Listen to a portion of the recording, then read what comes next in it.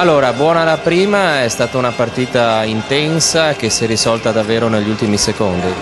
Sì, sapevamo che insomma, Veroli è una squadra agguerrita, è al nostro livello, perciò sicuramente la prima partita diciamo, molti dicono che è quella più importante, però sicuramente era quello dove siamo magari un po' più nervosi perché venivamo da 6-7 giorni di, di inattività, nel senso non abbiamo giocato la partita, mentre loro hanno giocato l'ultima mercoledì, e, anzi no, mercoledì domenica e niente eh, se è chiusa bene per noi siamo contenti. Eh, sostanzialmente siete riusciti a sorpassarli negli ultimi 5 minuti, eh, quali, sono stati, sono state le maggiori difficoltà in questa, in questa partita? Ma sicuramente non siamo, non siamo riusciti a, a, giocare, a, giocare, bene soprattutto in attacco e anche in difesa abbiamo fatto, eh, abbiamo fatto fatica a prendere, a prendere, le misure. Nel quarto quarto siamo riusciti a difendere meglio, però comunque i primi due quarti abbiamo fatto 10 palle perse che sono troppe per, per, una, per una partita di playoff. Insomma.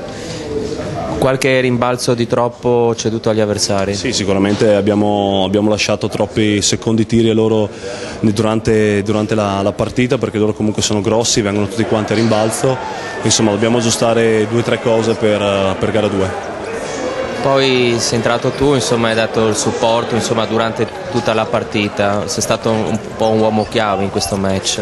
Ma io sono, sono contento di dare il mio contributo, so che devo farmi trovare sempre pronto. La serie è lunga, abbiamo bisogno di tutti, insomma, anche chi, chi, magari non ha giocato o ha giocato più una, le altre partite, insomma, è una serie lunga.